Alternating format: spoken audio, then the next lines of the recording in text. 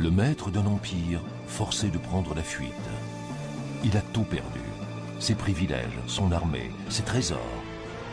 Mais il reste le roi d'un territoire qui s'étend à perte de vue. La Perse. Sa dernière bataille fut une cuisante défaite. Son puissant ennemi, Alexandre le Grand.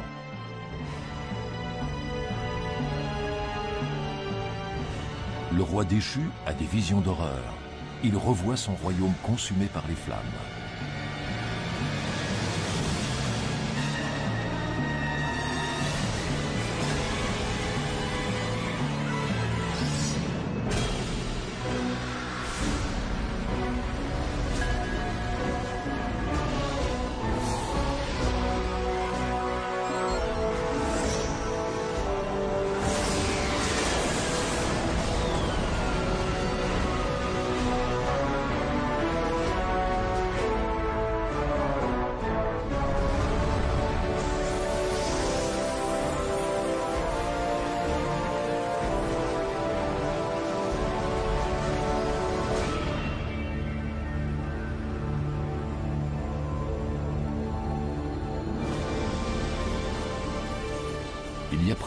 2500 ans, la Perse formait un empire constitué de déserts et de cailloux. Et pourtant, elle était le centre du monde. De partout affluaient des caravanes. Leur destination, Persépolis, le cœur d'un royaume qui s'étendait sur des milliers de kilomètres. De l'Indus à la Méditerranée, du désert de Libye jusqu'aux steppes d'Asie centrale une superficie six fois et demie supérieure à celle de la France. Dans la capitale, le roi Darius III règne du haut de son trône doré. C'est un souverain qui voit tout, qui sait tout. Un monarque inébranlable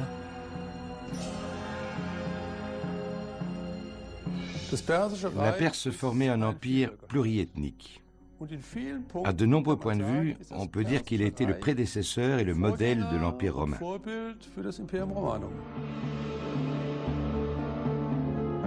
Comme le montrent ces bas-reliefs antiques, les hommes traversaient les mers et venaient par bateau de la Grèce ou de l'Égypte. Ils apportaient de l'Inde lointaine des cargaisons entières de trésors. Les éléphants, les chameaux, les bœufs, représentés ici, portent sur leur dos les objets précieux de leur pays respectifs. Ils avaient un objectif unique, honorer la souveraineté d'un roi puissant.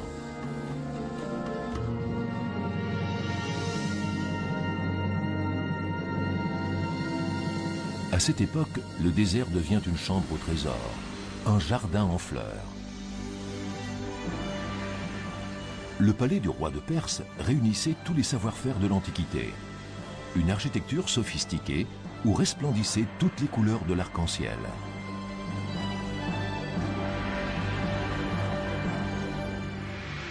Pour ses contemporains, Persépolis est la huitième merveille du monde. Un chef-d'œuvre d'architecture, comme le montre cette reconstitution en 3D. Persépolis repose sur une terrasse de 125 000 mètres carrés. La cité se dresse jusqu'à 18 mètres au-dessus de la plaine et le palais lui-même a les dimensions d'une capitale. Au centre, la salle du trône, la plus grande pièce jamais vue en ce temps-là. Plus de quatre générations d'artisans venus des quatre coins du monde ont travaillé à la construction de l'édifice. Le rêve du souverain est devenu réalité. Du site de Persépolis, il ne reste aujourd'hui que des ruines. À l'entrée du palais royal, les dieux tutélaires n'ont plus rien à protéger. Ces imposants piliers aux fleurs de lotus, finement sculptés, témoignent qu'un monument fut érigé ici dans une perspective d'éternité. Voici le symbole terni de la puissance d'antan, le taureau de Persépolis.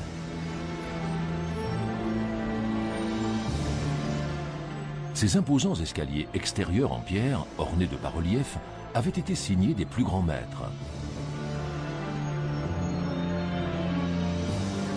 De gigantesques piliers de 20 mètres de haut, incroyables pour l'époque. Les dimensions des portes du palais sont aussi titanesques. De fascinantes sculptures évoquent un univers depuis longtemps disparu.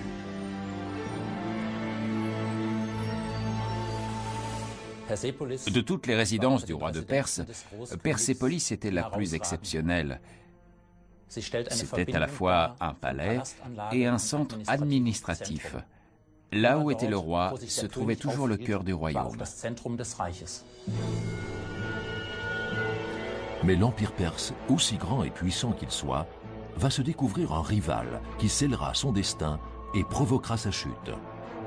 Un minuscule royaume cent fois plus petit que lui, la Macédoine. À Pella, sa capitale, vient au monde un enfant qui va marquer l'histoire.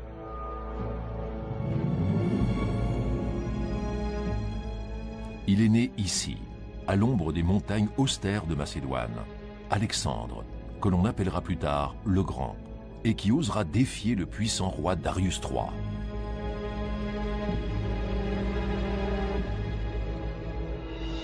Son précepteur n'est autre qu'Aristote, le plus célèbre philosophe de l'Antiquité.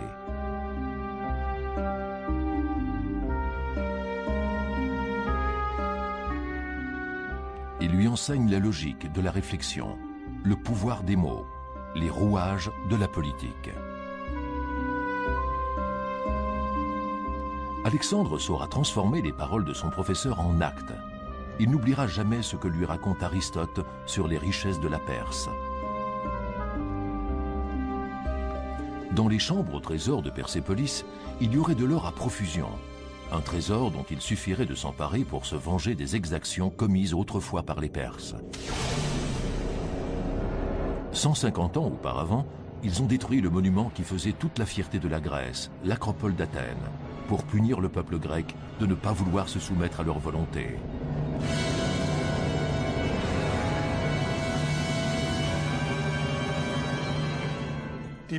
Les rois de Perse tenaient la Grèce sous leur domination. Même s'ils leur avaient promis la fortune et la liberté, ils les avaient privés de leur autonomie politique. Et par-dessus tout, de leur droit de partir en guerre. Le peuple grec était profondément offensé. Ce qu'il voulait plus que tout, c'était être libre. Alexandre se sent investi d'une mission, que ce rêve de liberté devienne réalité. Très tôt, il apprend à se battre et à vaincre. Et même s'il ne le savait pas, le temps lui est compté. Il mourra jeune, à 33 ans seulement. Mais dans sa courte vie, il accomplira davantage de choses que tous les autres grands généraux de l'histoire.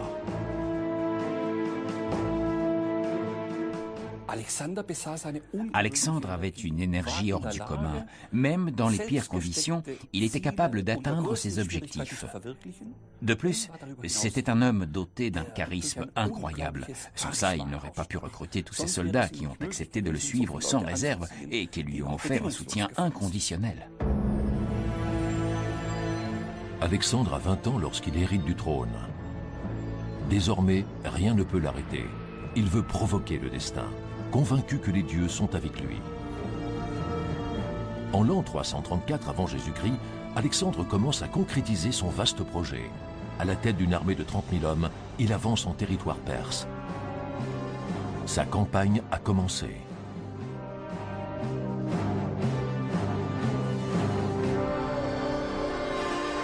Il veut changer le monde.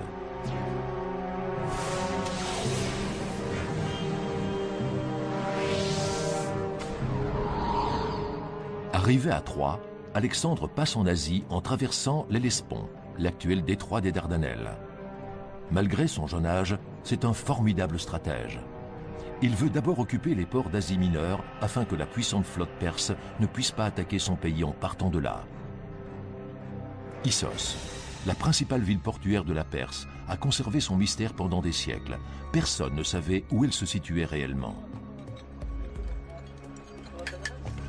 Récemment, une équipe d'archéologues dirigée par l'américaine Mary-Henriette Gates a réussi à localiser le site historique.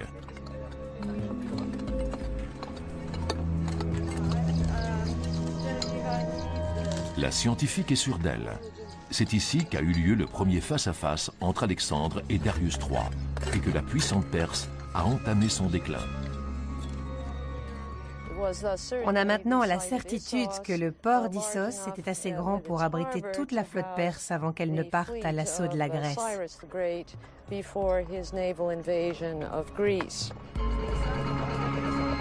Ironie du sort, c'est également d'ici que la flotte perse était partie plus d'un siècle auparavant pour aller conquérir Athènes.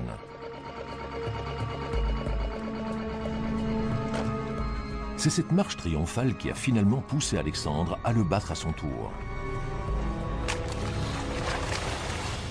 Les archéologues recherchent aujourd'hui les vestiges de ce qui faisait autrefois la fierté de la Perse. Sa flotte soi-disant invincible à l'époque. Les plongeurs découvrent des fragments de cruches d'huile, une partie du matériel de ravitaillement d'un des magnifiques navires de guerre perse.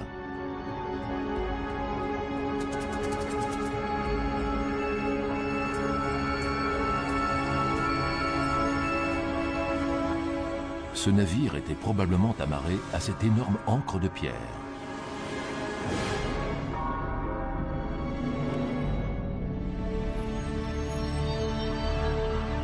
À l'endroit où l'armée de Darius III s'est autrefois heurtée à celle d'Alexandre dans un combat sanglant, se trouve aujourd'hui un terminal méthanier sur la mer Caspienne.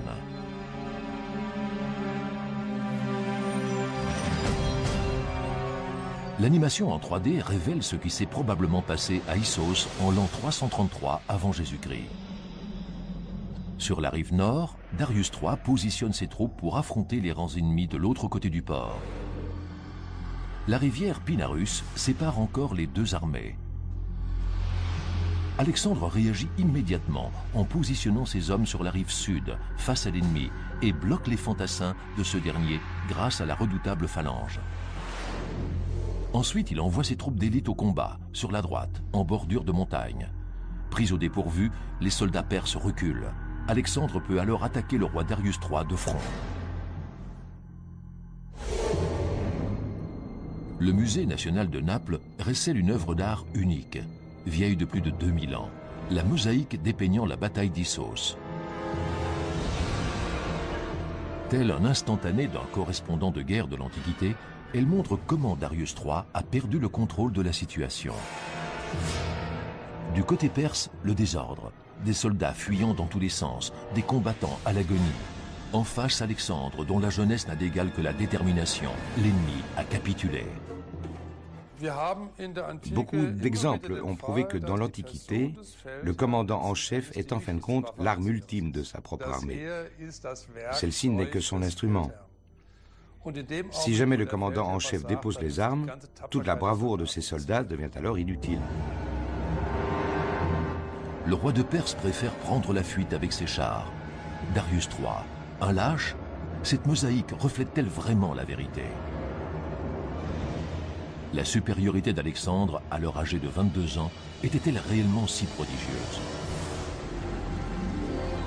La rivière Pinarus, située à 3 km de la mer, l'archéologue Marie-Henriette Gates a reconstitué le puzzle du drame historique. C'est à cet endroit précis que Darius III a été confronté pour la première fois au génie militaire d'Alexandre.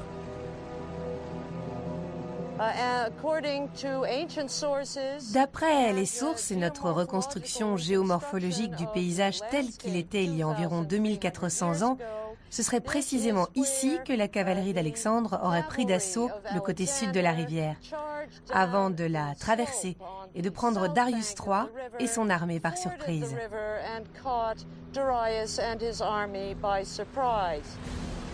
La rivière Pinarus a pris une teinte rouge sang. La bataille d'Issos a fait des milliers de morts. Darius III n'était pas quelqu'un de naïf, mais il ne se doutait pas qu'il avait en face de lui un adversaire aussi redoutable, audacieux et déterminé. La stratégie militaire d'Alexandre le Grand était vraiment exceptionnelle. Sa volonté de vaincre était plus forte que celle de son ennemi, et la manière dont il a déployé sa cavalerie était franchement révolutionnaire. Dans la confusion du champ de bataille, dans les combats au corps à corps, se révèle le prodigieux talent d'Alexandre. Il se bat contre un ennemi qui est supérieur en nombre, une armée réputée invincible.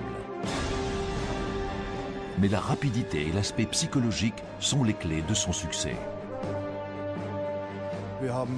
Dans l'histoire, il y a beaucoup d'exemples où le commandant d'une armée moins nombreuse a vaincu parce qu'il était un tacticien habile. Alexandre l'a prouvé dans toutes ses batailles. Il était conscient qu'il n'avait aucune chance sur un plan numérique. La pression psychologique était son seul recours et il l'avait très bien compris. Une stratégie lourde de conséquences pour l'ennemi. Darius III quitte le champ de bataille. Le maître de l'Empire perse prend la fuite. Et ce ne sera pas la dernière fois.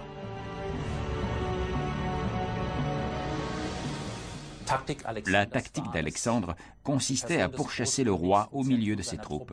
C'était courageux et ça a été couronné de succès, mais les choses auraient pu mal tourner. En se conduisant comme ça, Alexandre prenait le risque de se faire tuer.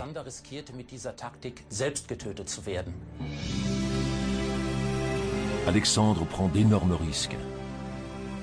La victoire paraît désormais si proche.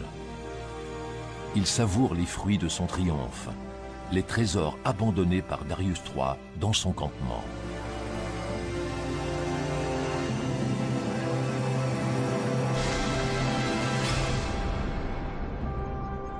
C'est ça, la royauté, se serait-il exclamé devant ce spectacle. Un aperçu des richesses, des boucliers en or, une profusion de bijoux, une lourde corne pour boire. Les rois perses semblent vivre entourés d'or. Il suffit de se servir.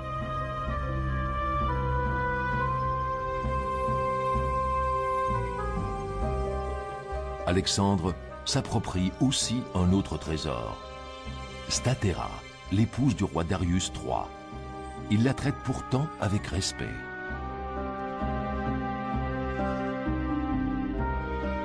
Serait-ce un homme d'honneur cette facette de sa personnalité montre que c'est un homme plein de contradictions. Sur les fresques antiques, il apparaît sous les traits d'un jeune et glorieux héros.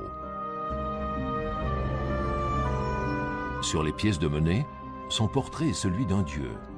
Derrière toutes ces représentations, quel était donc son véritable visage?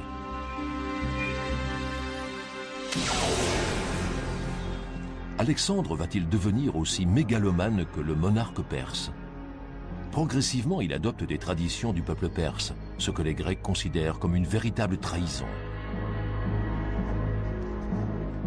Sur ces bas-reliefs des coutumes perses sont représentés jusque dans les moindres détails. Là, on voit un sujet qui s'incline devant son roi. Pour les Grecs, c'est quelque chose d'inadmissible. Darius III, l'ennemi Oni, serait-il devenu un modèle pour Alexandre? Plus Alexandre avançait à l'intérieur du royaume perse, et plus son caractère et ses manières changeaient. Il a voulu obliger ses hommes à le vénérer et à adopter la proskinèse, le rite de prosternation devant le roi. Les Macédoniens s'y sont vivement opposés. Pas parce qu'ils auraient eu l'impression de s'agenouiller devant un dieu, mais parce qu'ils voyaient dans cette attitude un hommage rendu à, à un souverain oriental, un étranger. Alexandre s'assimile à un dieu et oublie les recommandations de son précepteur Aristote. Agir avec retenue et garder le sens de l'équité. Dans son camp, des excès sont rapportés, orgies, alcoolisme et violence.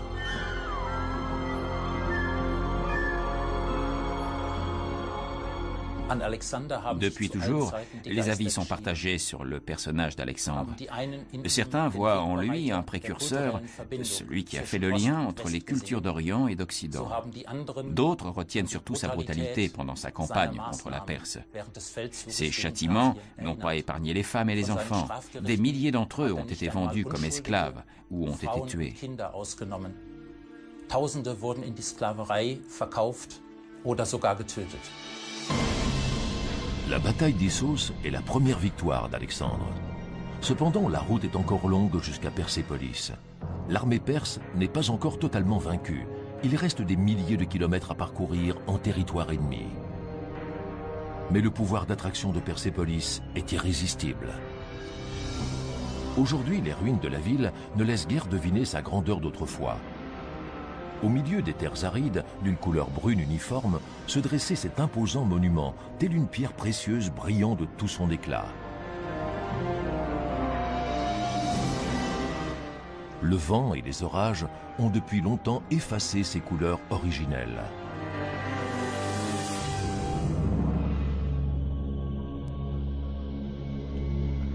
Dans la glyptothèque de Munich, le docteur Vincenz Brickmann est sur les traces des splendeurs colorées de l'Antiquité.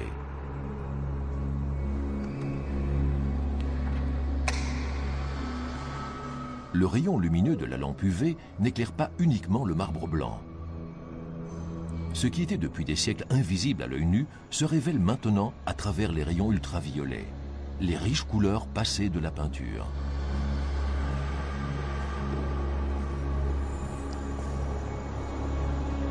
Si l'esthétique contemporaine a une préférence pour les statues de marbre blanc, l'Antiquité les préférait en couleur.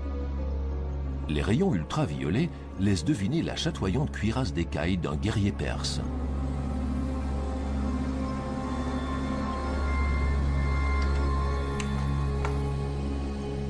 L'ordinateur réunit les données issues de multiples recherches pour former une image complète.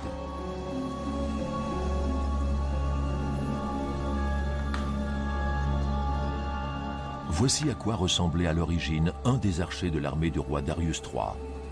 Une image réaliste aux couleurs éclatantes.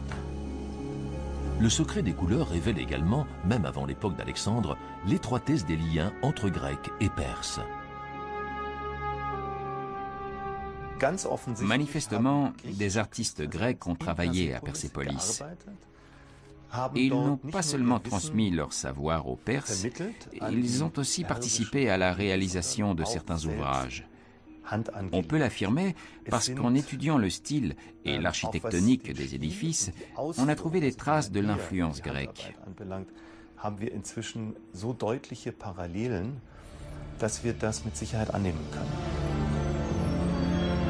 Le palais dans lequel résidait Darius III était le symbole de la modernité de son empire. Il témoignait de sa pluriethnicité, des différents talents et savoir-faire, de l'union de plusieurs cultures au sein de l'Empire.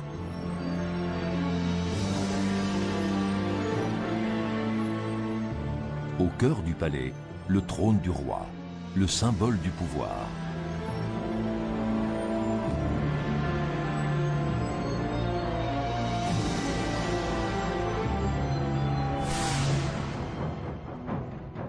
Ces images d'archives témoignent de l'influence de la civilisation perse dont certaines traditions se sont perpétuées à travers les siècles.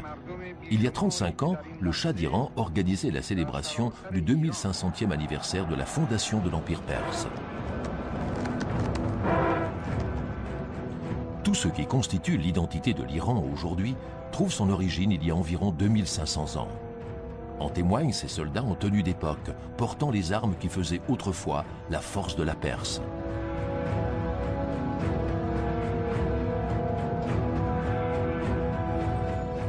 Leur équipement militaire le plus sophistiqué à l'époque surpassait de loin la puissance militaire des autres pays.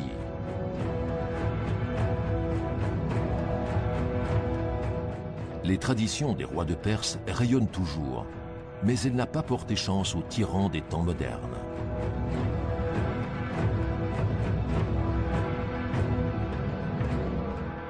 Le Shah d'Iran a lui aussi été destitué, comme le roi perse jadis le luxe et l'opulence disparus du jour au lendemain.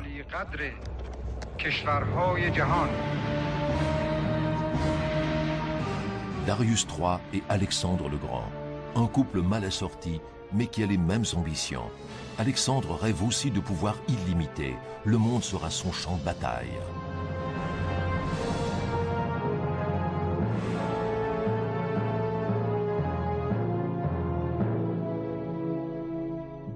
Alexandre croyait en sa mission, il se sentait guidé par les dieux Hercule et Jupiter.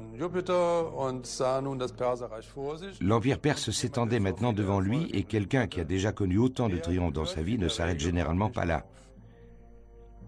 Très peu de conquérants dans l'histoire ont dit un jour ⁇ ça suffit, j'arrête là ⁇ De quelle taille étaient les obstacles se dressant devant Alexandre? Cette question a fasciné l'archéologue Ernst Hersfeld. En 1933, son équipe fouille l'ancien site de Persépolis. Elle y fait une découverte exceptionnelle. des milliers de tablettes d'argile portant des inscriptions, de véritables archives.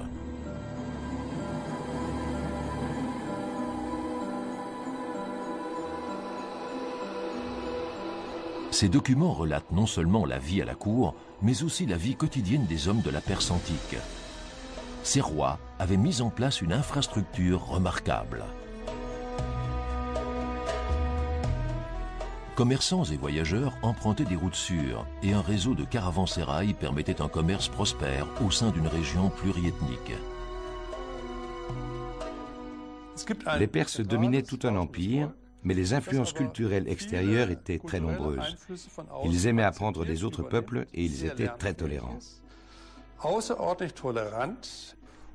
C'est pour cette raison que pendant plusieurs siècles, l'Empire perse, Imperium Persicum, a pu régner sur tout le Proche-Orient voisin.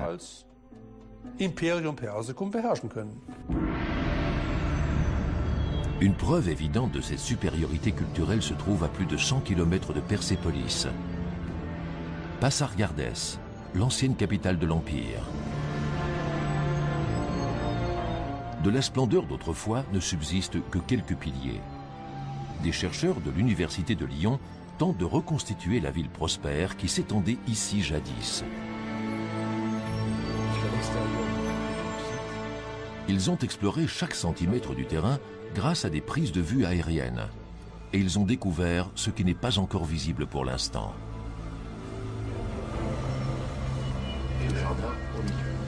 Des structures cachées sous terre. Elles révèlent le secret de Passargardès, un gigantesque système d'irrigation qui a mené la vie dans cette contrée désertique.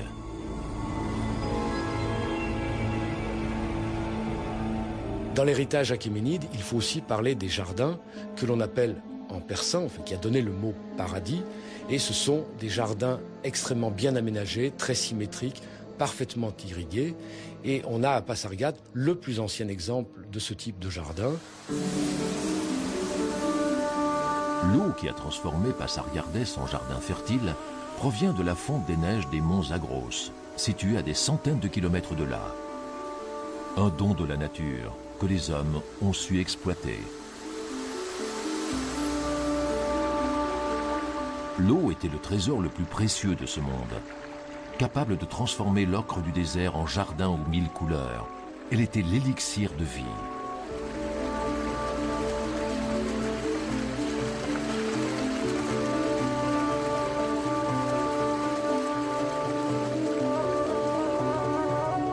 De ce gigantesque système d'irrigation ne subsistent que quelques vestiges, comme ce bassin en pierre dans le domaine du palais. On parle souvent de la décadence de l'Empire achéménide. Il faut, il faut savoir que l'archéologie ne rend absolument pas compte d'une décadence, bien au contraire. On peut penser qu'un certain nombre de techniques qui ont été ou créées ou améliorées à l'époque achéménide se sont maintenues à travers l'Antiquité, le Moyen Âge et jusqu'à l'époque moderne. De nos jours, de pareils jeux d'eau nous semblent ordinaires. Dans nos villes modernes jaillissent d'innombrables sources artificielles comme celle-ci. Mais dans l'Antiquité, grâce à cette technique, les hommes avaient conquis le désert pour en faire un espace de vie. Ces énormes conduites souterraines sont des canas. La force vitale des hommes et de la végétation s'y écoulait pour gagner le centre de la ville. Certains de ces canas, véritables prouesses techniques, ont été conservés. Sous terre, l'eau protégée du soleil s'écoulait jusqu'au cœur du royaume on peut admirer les dernières traces de ce système d'irrigation dans la ville de Yazd.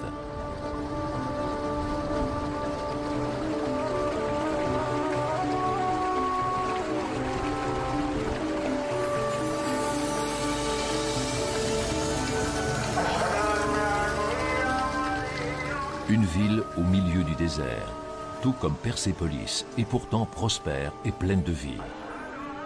Elle compte aujourd'hui 300 000 habitants.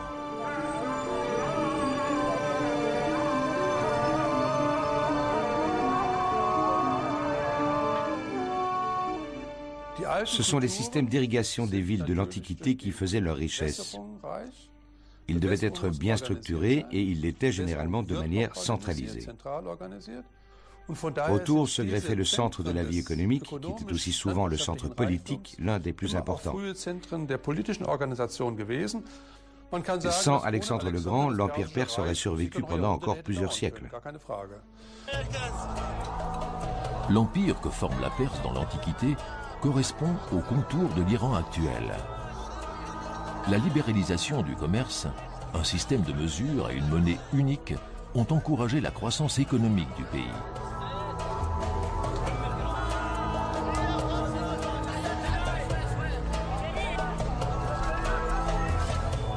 C'est comme si tous les visages exprimaient cette fierté ancestrale que ressentent ceux qui ont créé de leurs propres mains un paradis dans le désert.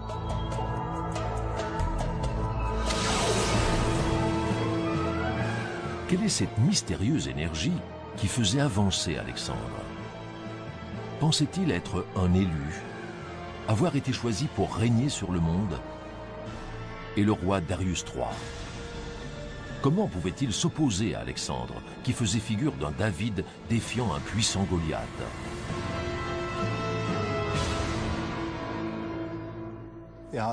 Darius III a eu peur. Je pense qu'il avait un complexe d'infériorité face à Alexandre. C'était un point faible, et Alexandre a concentré tous ses efforts là-dessus. La force de Darius III, c'est l'héritage de ses prestigieux ancêtres et c'est en même temps sa principale faiblesse. Gravée dans la pierre, une affirmation qui se voulait éternelle. Seul le roi des Perses peut être désigné par Dieu pour régner sur le monde. Les ancêtres du roi vivaient au milieu de paysages comme celui-ci, un environnement qui poussait les hommes à s'endurcir, à lutter pour survivre. Ici vivent encore aujourd'hui des nomades qui manient les armes comme leurs ancêtres perses.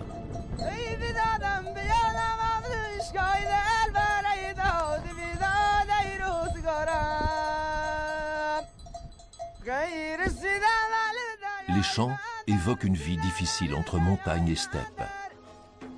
Des déplacements incessants au gré des pâturages. Une vie austère, un combat contre soi-même et contre les autres.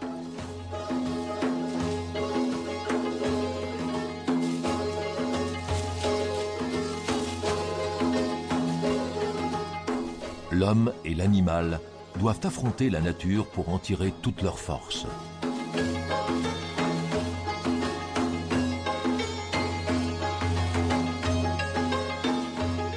Pieds nus pour traverser les cols enneigés.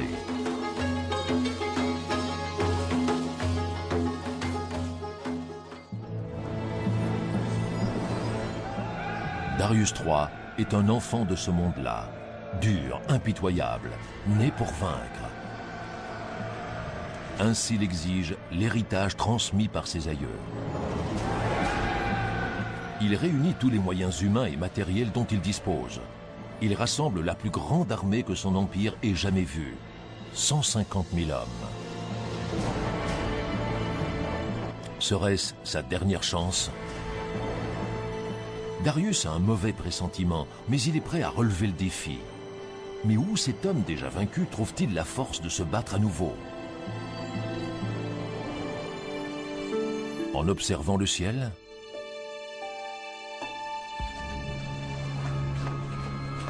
Centre de recherche d'astrométrie et dynamique stellaire à Heidelberg, en Allemagne. Des phénomènes naturels survenus au cours du règne de Darius III pourraient apporter des éclaircissements sur ce qui a pu influencer le cours de l'histoire.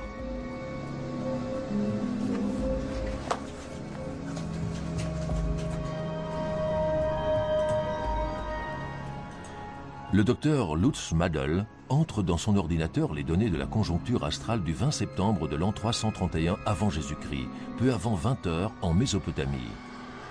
Il y a eu une éclipse de lune.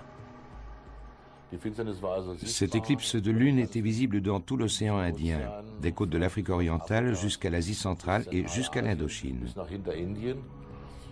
Elle s'est finie avec la sortie de la lune de la pénombre vers 23 heures, heure locale.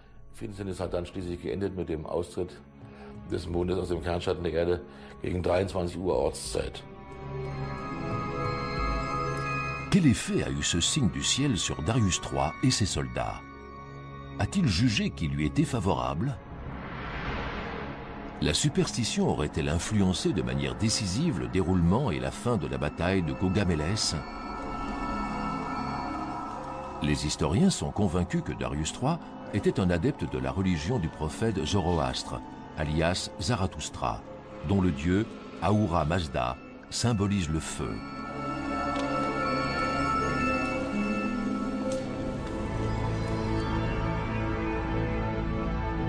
Sous le règne de Darius III, au cœur d'un univers entouré de mystères, des feux étaient allumés dans les lieux de culte. Le rite funèbre perse imposait de placer le corps dénudé du défunt dans un dakma, tour du silence, afin qu'il soit dévoré par les vautours. Ces créatures transportaient l'enveloppe terrestre jusqu'au ciel, avant la crémation et le passage dans l'au-delà. Les signes célestes bénéfiques ou de mauvais augure avaient certainement une forte influence sur les hommes de l'Antiquité. Cependant, ce n'est pas le ciel qui a décidé de l'issue de la guerre, mais une arme incomparable. La Saris, dont sont dotés les soldats d'Alexandre. Sa pointe forgée du meilleur bronze, dure comme l'acier, en faisait une arme redoutable à l'époque. Son véritable secret était la longueur de sa lance qui pouvait atteindre 7 mètres. Les guerriers macédoniens les tenaient à deux mains et les poussaient du bas vers le haut. L'élite des soldats d'Alexandre, la phalange. S'attaquer à son armée signifiait d'abord se frayer un chemin à travers cette forêt de lances.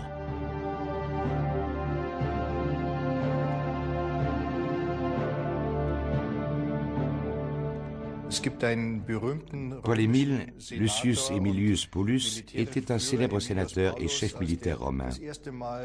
En voyant pour la première fois la phalange macédonienne, il a dit « C'est la chose la plus terrifiante, la plus horrible que j'ai jamais vue de ma vie. Moi, je serais parti en courant. »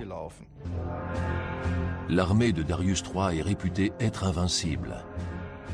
Ces hommes sont surnommés les dix mille immortels une élite militaire qui pourrait peut-être résister à la redoutable phalange grecque. Mais ces combattants parfaitement entraînés ont une faiblesse. La plupart d'entre eux sont des légionnaires. Le roi de Perse est à la tête de soldats venus des quatre coins du monde et réunis par la contrainte. C'est donc une armée de mercenaires qui doit donner l'assaut contre Alexandre, et nombre de soldats sont originaires du même pays que lui. Du côté perse, certains adversaires d'Alexandre étaient en fait des mercenaires d'origine grecque. On peut dire qu'un empire qui ne peut pas être défendu par ses propres citoyens est déjà sur le déclin.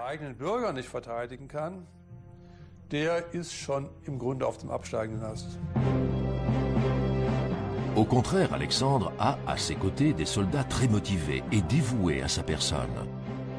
Il est admiré et ses hommes lui obéissent de manière inconditionnelle. Alexandre le Grand donnait l'exemple, et ce fut la clé de leur victoire. Diriger en restant en arrière-plan comme aujourd'hui était impossible à l'époque. Il fallait montrer l'exemple. Je suis votre guide. Moi, Alexandre, je vous mène au combat contre Darius III. J'ai gagné chaque bataille que j'ai livrée jusqu'ici. Suivez-moi. Ces hommes l'ont suivi et ont gagné. Le 1er octobre de l'an 331 avant Jésus-Christ, les deux armées se retrouvent face à face dans la plaine de Gaugamélès. Darius III peut encore espérer. En terrain découvert, ses troupes pratiquement quatre fois supérieures en nombre ont l'avantage. Mais Alexandre est le plus fort et il se bat comme un dieu.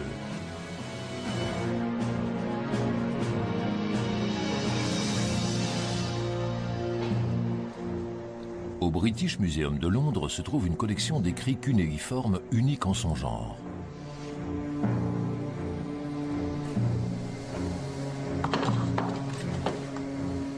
Le docteur Irving Finkel a déchiffré une chronique vieille de 2300 ans, découverte sur le site archéologique de Babylone, une sorte de rapport de guerre de la bataille de Gaugamélès. Cette tablette recouverte de signes cunéiformes fait partie de la chronique qui raconte la bataille de Kogamel. Elle ne révèle pas grand-chose, mais elle nous apprend que les troupes du roi Darius III avaient été prises d'une véritable panique. Elle fait aussi allusion à une autre personne appelée le grand roi, Alexandre. Là, on peut lire Les Perses ont subi une défaite écrasante qui a signé la chute de leur empire.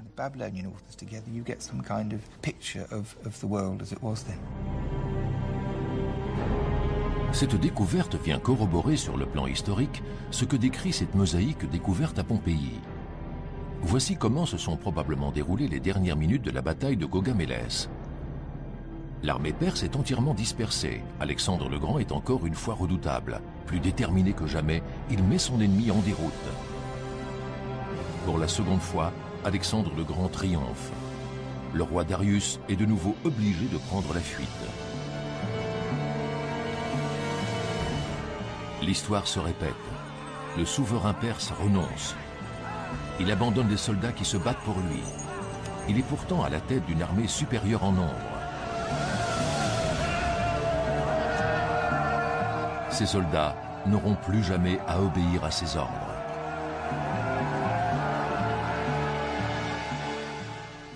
En quittant le champ de bataille, le roi perd naturellement le soutien de ses troupes qui se disent s'il prend la fuite, pourquoi continuer à nous battre pour lui? C'est sûrement l'échec le plus cuisant sur le plan psychologique pour les Perses, mais il faut bien avouer que Darius III n'était pas si fort que ça sur le plan militaire. À quoi pense le roi au cours de sa fuite? Quelles seront les conséquences pour le moral de ses troupes? Qui va gouverner son empire? Quel sort lui réserve l'avenir? Le roi Darius se sent piégé par les contraintes de ses fonctions, de la tradition, de l'héritage de ses ancêtres. Il a l'impression d'être prisonnier et de n'avoir aucune liberté de mouvement. Son seul devoir, selon lui, rester en vie. Voici Naskerostam, dans la vallée des rois, près de Persépolis. Le testament des rois perses, les prédécesseurs de Darius III, se trouve ici.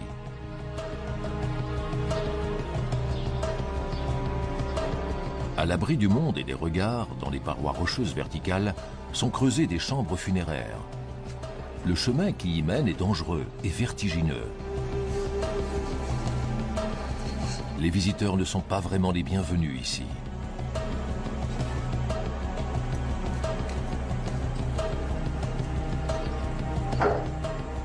Seul celui qui parvient au sommet peut admirer les détails du décor. D'imposants piliers creusés dans la roche, comme eux, le roi porte sur ses épaules tout le poids de son royaume.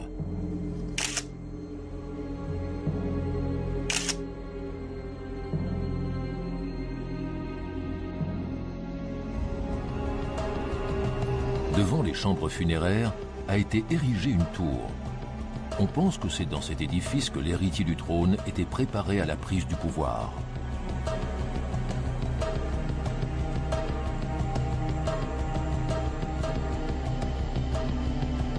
Mais ce passé dont les pères sont si fiers ne vaut plus rien.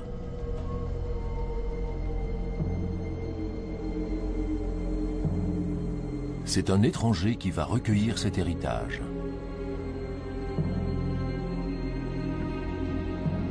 Alexandre le Grand. Il ne sera pas désigné pour prendre ses fonctions. Le pouvoir, il va s'en emparer par la force.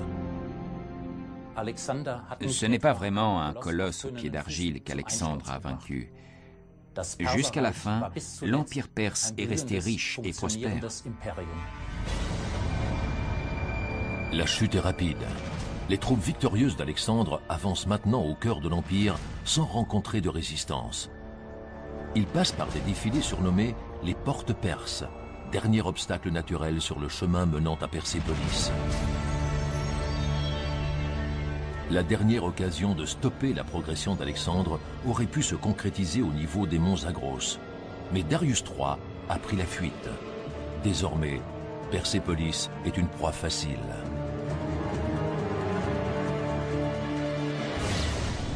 Le bastion de pierre est là, sans défense.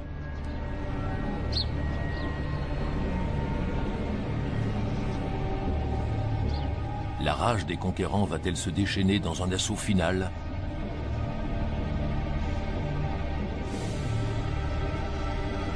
Dans les environs de l'ancien palais, les archéologues ont découvert des traces de cette tragédie.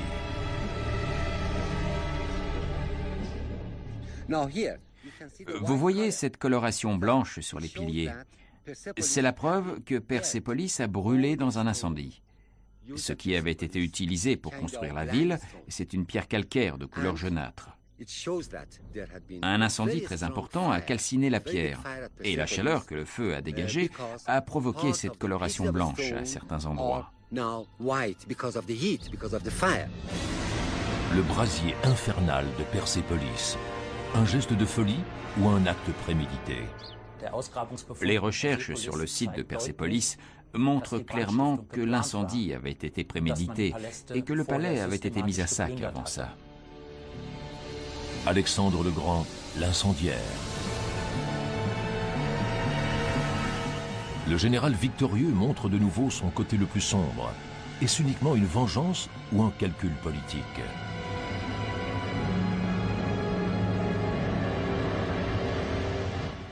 En réduisant Persépolis en cendres, Alexandre a voulu faire un signe au peuple grec et à sa patrie. Il a fait ça en toute conscience, pour se venger de la destruction de l'acropole par Xerxès Ier pendant la Seconde Guerre médique. C'était pour montrer à ses alliés grecs qu'il devait agir avec brutalité envers les Perses. Le roi Darius III est devenu un fuyard solitaire un paria, l'incarnation de tous les échecs.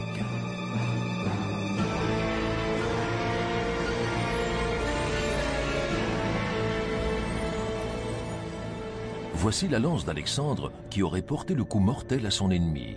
Mais ce n'est qu'une légende.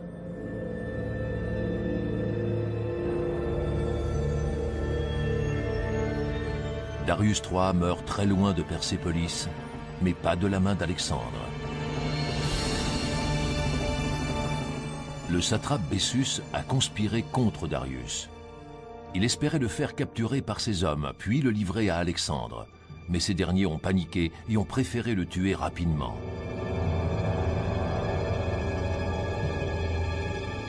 Darius III est assassiné par des citoyens perses. Voici la triste fin d'un roi qui avait abandonné sa patrie. Certains auteurs de l'Antiquité ont écrit qu'Alexandre aurait fait transférer la dépouille de Darius III vers sa ville natale et qu'il aurait fait inhumer avec tous les honneurs. On ne sait pas si ça s'est passé à Persépolis, mais c'est probable. D'après de récentes découvertes, la tombe dite inachevée n'est certainement pas le tombeau du dernier grand roi de Perse.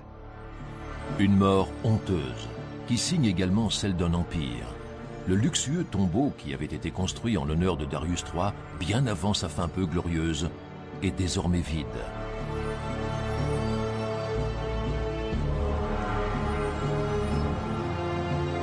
Plus aucun roi de Perse ne sera inhumé derrière ces pierres, plus personne ne donnera son nom à ces bas-reliefs sur les murs extérieurs. Une tombe inachevée, une vie de souverain i nerwy.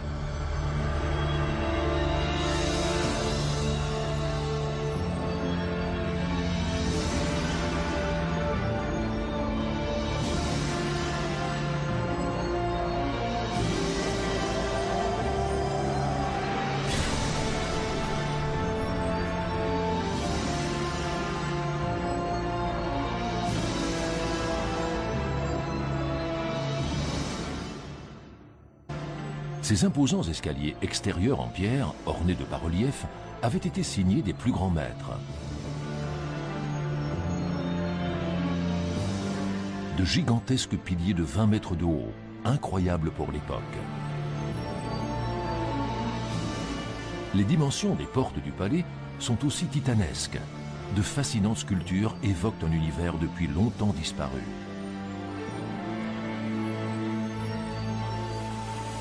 De toutes les résidences du roi de Perse, Persépolis était la plus exceptionnelle.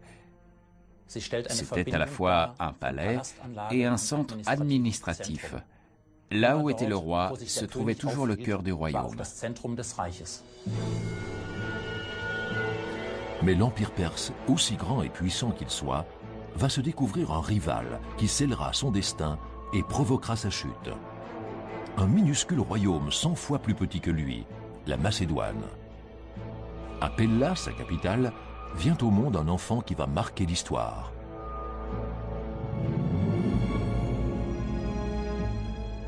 Il est né ici, à l'ombre des montagnes austères de Macédoine, Alexandre, que l'on appellera plus tard le Grand, et qui osera défier le puissant roi Darius III.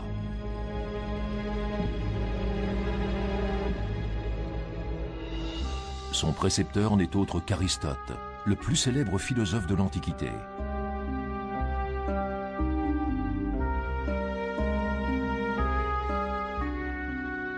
Il lui enseigne la logique de la réflexion, le pouvoir des mots, les rouages de la politique. Alexandre saura transformer les paroles de son professeur en actes. Il n'oubliera jamais ce que lui raconte Aristote sur les richesses de la Perse. Dans les chambres au trésor de Persépolis, il y aurait de l'or à profusion, un trésor dont il suffirait de s'emparer pour se venger des exactions commises autrefois par les Perses.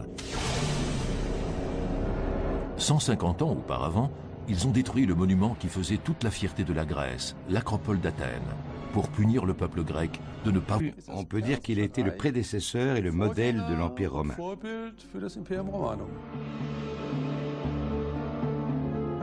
Comme le montrent ces bas-reliefs antiques, les hommes traversaient les mers et venaient par bateau de la Grèce ou de l'Égypte. Ils apportaient de l'Inde lointaine des cargaisons entières de trésors. Les éléphants, les chameaux, les bœufs, représentés ici, portent sur leur dos les objets précieux de leurs pays respectifs. Ils avaient un objectif unique, honorer la souveraineté d'un roi puissant.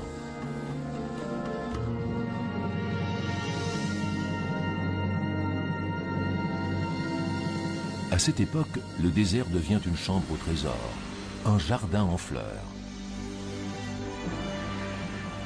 Le palais du roi de Perse réunissait tous les savoir-faire de l'Antiquité. Une architecture sophistiquée où resplendissaient toutes les couleurs de l'arc-en-ciel.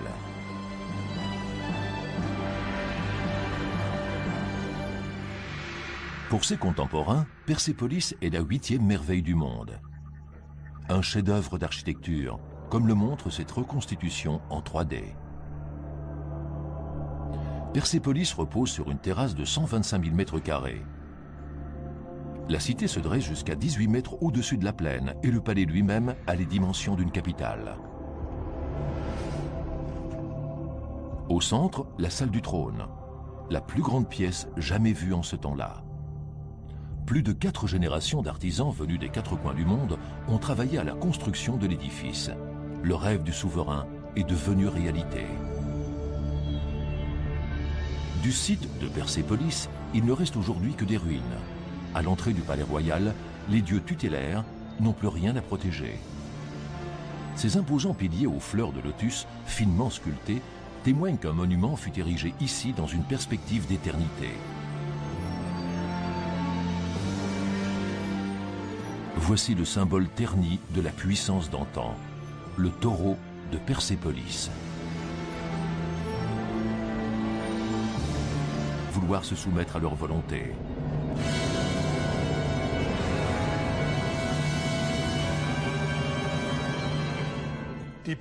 Les rois de Perse tenaient la Grèce sous leur domination.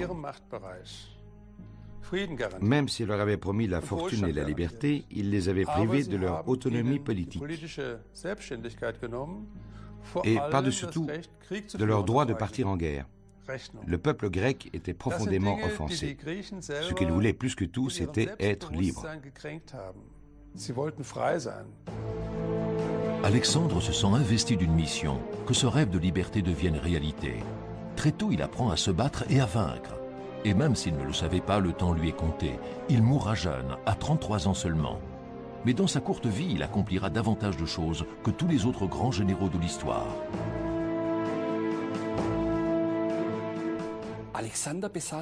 Alexandre avait une énergie hors du commun. Même dans les pires conditions, il était capable d'atteindre ses objectifs.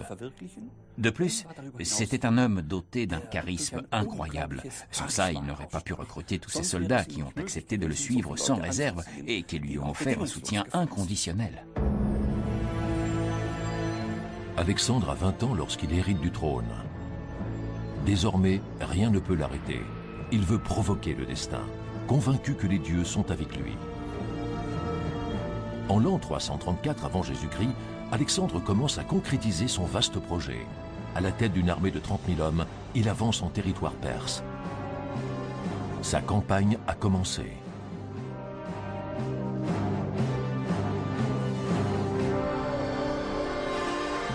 Veut changer le monde.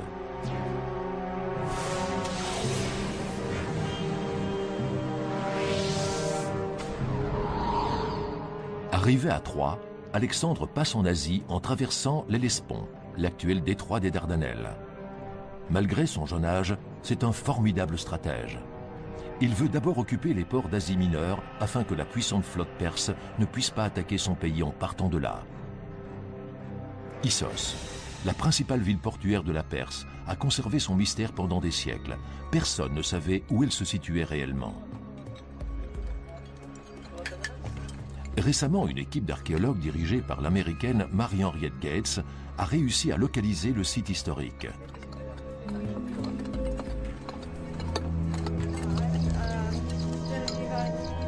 La scientifique est sûre d'elle. C'est ici qu'a eu lieu le premier face-à-face entre Alexandre et Darius III, et que la puissante Perse a entamé son déclin. On a maintenant la certitude que le port d'Issos était assez grand pour abriter toute la flotte perse avant qu'elle ne parte à l'assaut de la Grèce.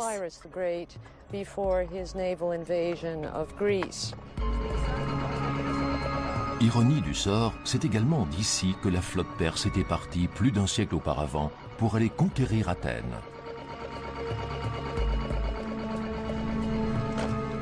C'est cette marche triomphale qui a finalement poussé Alexandre à le battre à son tour. Les archéologues recherchent aujourd'hui les vestiges de ce qui faisait autrefois la fierté de la Perse. Sa flotte soi-disant invincible à l'époque. Les plongeurs découvrent des fragments de cruches d'huile, une partie du matériel de ravitaillement d'un des magnifiques navires de guerre perse.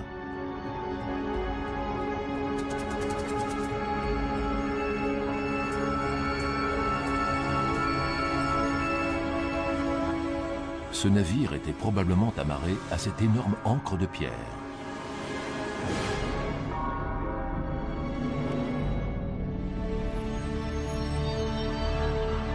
À l'endroit où l'armée de Darius III s'est autrefois heurtée à celle d'Alexandre dans un combat sanglant, se trouve aujourd'hui un terminal méthanier sur la mer Caspienne.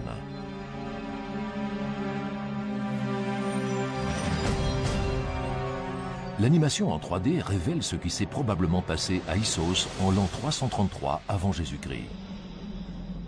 Sur la rive nord, Darius III positionne ses troupes pour affronter les rangs ennemis de l'autre côté du port.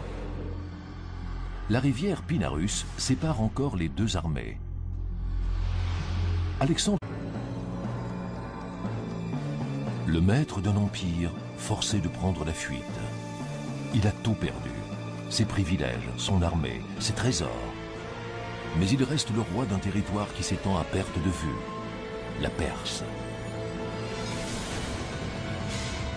Sa dernière bataille fut une cuisante défaite. Son puissant ennemi, Alexandre le Grand.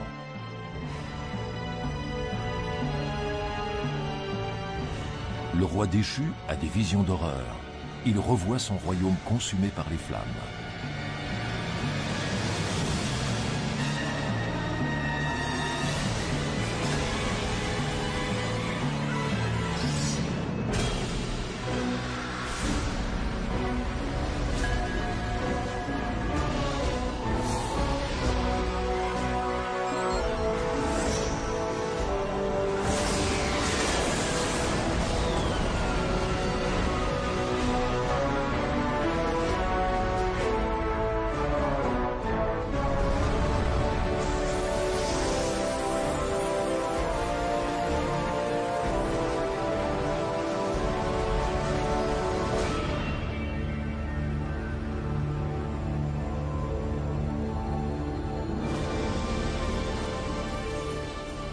Presque 2500 ans, la Perse formait un empire constitué de déserts et de cailloux.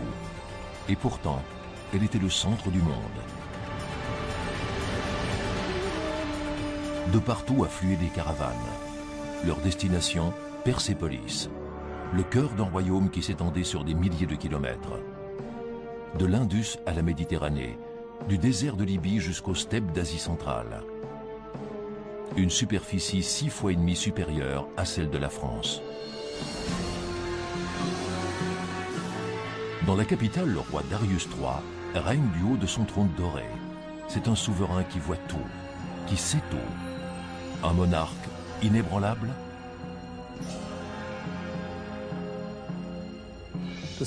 La Perse formait un empire pluriethnique. À de nombreux points de vue,